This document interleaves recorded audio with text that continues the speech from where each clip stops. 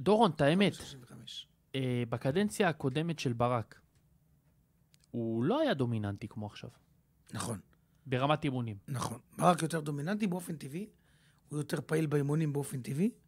למה באופן טבעי? אני אגיד לך, אז כי למה הוא רישת את עצמו בצוות ה... קודם כל צריך, צריך שלו. לרשת וזה חשוב. אם אה, אה, צרפתי היה יותר אה, דומיננטי, אה, שחר וייזינגר... נוסבאום לא דומיננטי? נוסבאום הוא בחור טוב. הוא איש כדורגל. נוסבאום לא דומיננטי, הוא בחור טוב. כן, הוא איש, תסביר. הוא איש כדורגל, הוא מבין כדורגל, אבל להיות מול שחקנים שיש להם אה, עם אגו כזה, צריך מישהו על המגרש, מישהו שיכוון אותם. שחר וייזינגר דווקא יכול להיות שיש לו את הקטע יותר הדומיננטיות, אבל זה עם הזמן הוא יהיה יותר אה, זה. ולכן ברק החליט, ובצדק, אם אתה שואל את דעתי, להיות יותר דומיננטי על הקווים. וזה טוב. זה טוב, זו נקודה יפה שאתה מעלה. זה נכון, שמעתי משחקנים. שהם אמרו שהוא... מה, מעביר את האימונים? כן, אה, כן, יותר פעיל. אצל צרפתי הוא היה עומד בצד, רוב האימונים. צרפתים, כן, זה נוח. אבל פה צריך לעבוד.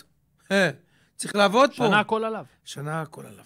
שנה פה ברק בא לקבוצת כדורגל שיש לו הרבה עבודה.